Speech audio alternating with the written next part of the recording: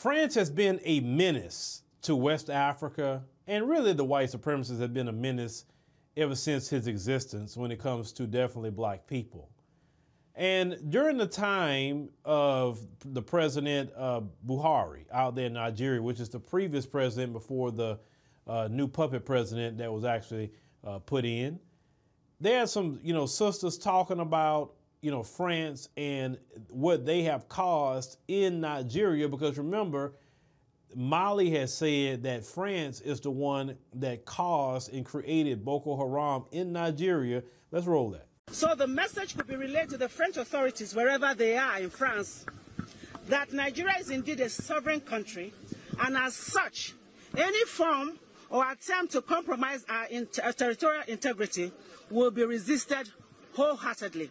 At this point, I want to stress Nigeria was not colonized by France. Therefore, they have no business coming to toy with our lives here. We are aware that some vested interest was not happy with the gains made by the Nigerian government and especially our dear President, President Muhammad Buhari, in the fight against terrorism. As such, they began providing logistic support under the human under a cover called humanitarian whatever to the Boko Haram fighters. They also assumed the role of the mouthpiece of the Boko Haram terrorist group. They use their state medium to promote their nefarious activities and to give them the needed psychological boost, claiming human rights for people that have been raised trying to kill fellow Nigerians by them. The movement against slavery and terrorism wishes to state categorically and on unequivocal terms that France is indeed responsible for the resurgence of Boko Haram attacks in Nigeria. The movement against slavery and terrorism wishes to inform the President of France, Emmanuel Macron, that the world is indeed watching closely and we, especially Nigerians, are also watching very closely. And should the French authorities not halt the spread of terrorism in Nigeria, they day of reckoning is indeed near and very, very near. We are also aware that the actions of France are hinged on economic benefits, given the avalanche of economic resources in northeast Nigeria, particularly the Lake Chad Basin region. This is indeed an attempt at recolonization.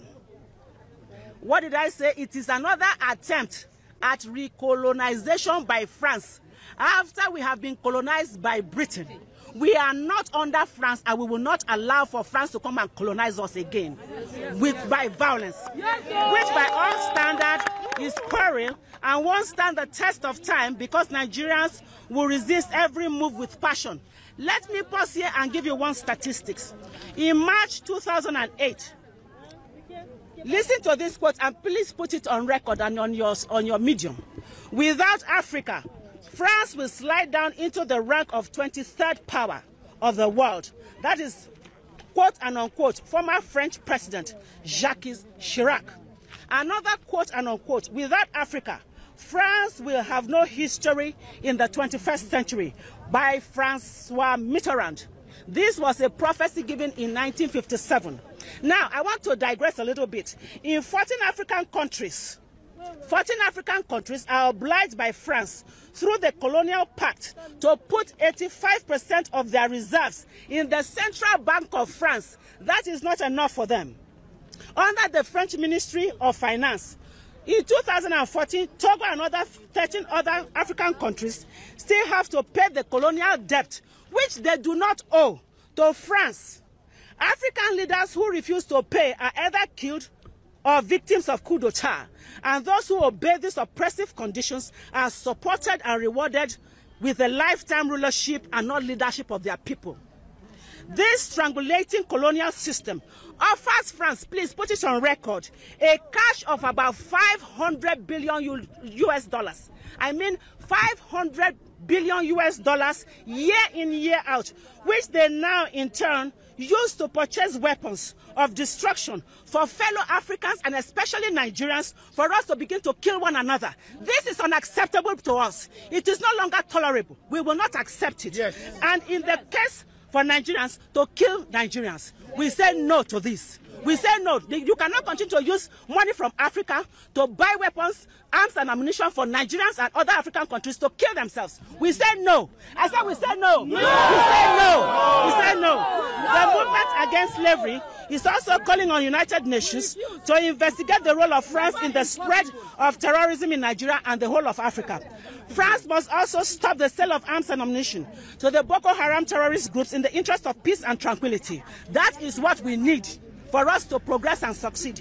This is on the heels that the bulk of the French NGOs operating in Northeast Nigeria are carrying out espionage activities and passing the same to the leadership of the Boko Haram terrorist groups on the instruction of French authorities because of their business interests. What you're seeing right now on the African continent is that they are waking up to the wiles of the French devil.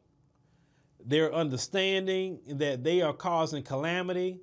They are stealing their resources. They are having their puppet leaders, and this is why you're seeing a lot of coups happening in West Africa. And I support those brothers and sisters getting out that French colonizer that's siphoning all the wealth out of those countries.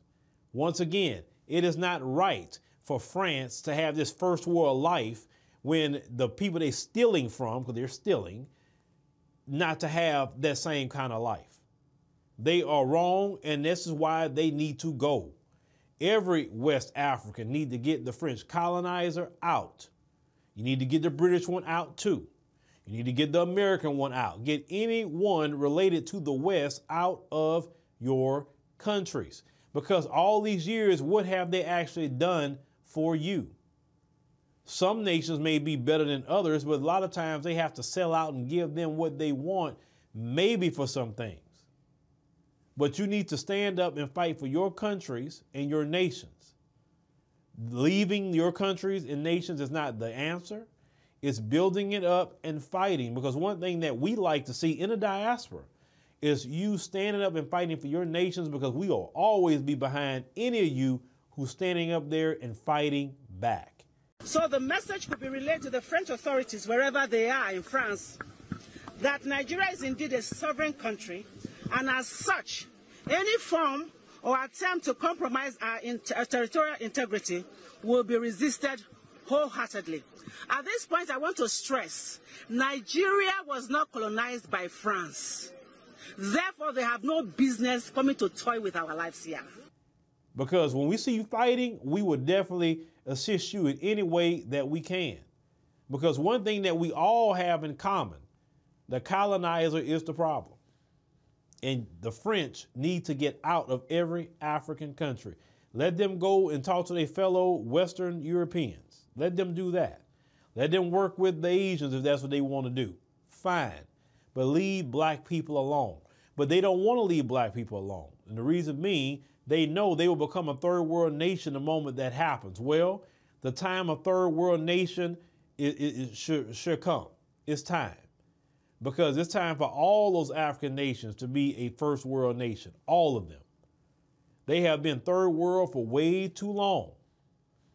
And they didn't deserve any of that. And it's going to take those brothers and sisters standing up and saying, Get out of our country. We don't want you here. And if you don't want to uh, get out, we're going to make you get out. You understand?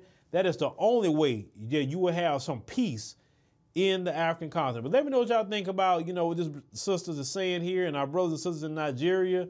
Of course, as she said, they wasn't colonized by them, but they have caused calamity by creating Boko Haram in Nigeria.